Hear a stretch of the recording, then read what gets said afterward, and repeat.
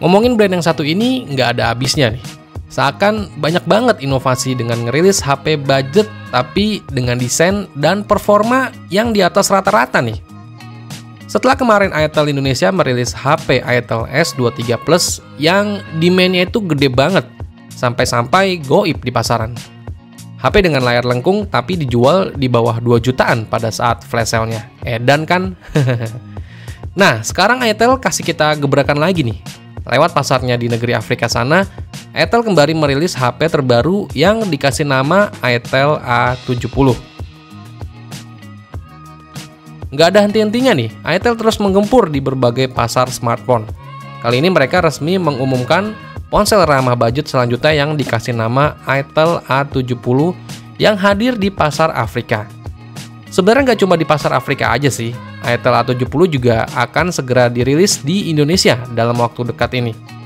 Hal tersebut diketahui setelah HP tersebut terlihat di laman Ditjen SD PPI atau Postel. Ya udah, sekarang kita lihat lagi spesifikasi lengkap dan harga dari Itel A70 ini.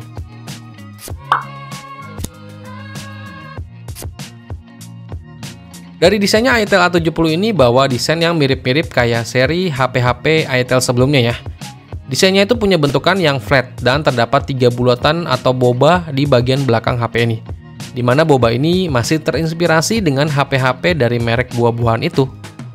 Terus di bagian layarnya, ITEL A70 punya layar berpanel IPS LCD dengan bentang layar di 6,6 inch.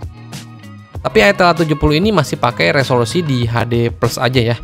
Layar berukuran luas ini dilengkapi dengan refresh rate di 60 Hz dan touch sampling rate-nya di 120 Hz serta kecerahan brightness maksimalnya di 500 nits. Nggak cuma itu aja nih, layar di Itel A70 ini masih berjenis water drop. Tapi untuk layarnya ini juga terinspirasi dari iPhone ya, dengan menghadirkan fitur dynamic bar yang akan muncul dalam kondisi tertentu nih, seperti status baterai, panggilan, ngecas HP, dan yang lainnya. Terus di bagian dapur pacunya, ITEL A70 ini ditenagai oleh chipset dari Unisoc T603 untuk menjalankan berbagai aktivitas. Chipset Unisoc T603 ini dipadukan dengan tiga varian memori nih, yaitu ada RAM 3GB yang bisa dipadukan dengan memori internal 128GB, terus ada RAM 4GB, memori internalnya 128GB, dan RAM 4GB, internal memorinya di 256GB. iTel sendiri juga membekali fitur extended RAM yang memungkinkan pengguna dapat memperbesar memori RAM-nya nih sampai 5 atau bahkan 8 GB. Selain itu nggak ketinggalan juga iTel A70 ini tersedia juga nih kartu slot micro SD sampai 2 TB. Satu lagi nih, fitur killer lagi nih di HP harga sejutaan ini. HP ini tuh juga udah support MagSafe ya, yaitu pengisian daya secara wireless dan Itel juga kasih casing magnet untuk support MagSafe-nya. Jadi ngecasnya itu udah pakai power bank yang bisa ditempel kayak MagSafe yang ada di Apple. Terus di bagian kameranya, Itel A70 ini menghadirkan sistem pengaturan ganda dengan kamera utamanya itu beresolusi 13 megapiksel yang dilengkapi dengan fitur SDR dan yang satunya lagi itu lensa gimmick atau depth sensor ya. Terus yang bulatan satu lagi itu untuk LED flash. Terus pada bagian depannya Itel A70 punya lensa kamera beresolusi 8 megapiksel. Buat daya tahan baterainya, Itel A70 ini dibekali dengan baterai berkapasitas 5000 mAh dengan daya ngecasnya di 10 watt dan untuk port pengisian yang digunakan itu udah berjenis USB Type-C.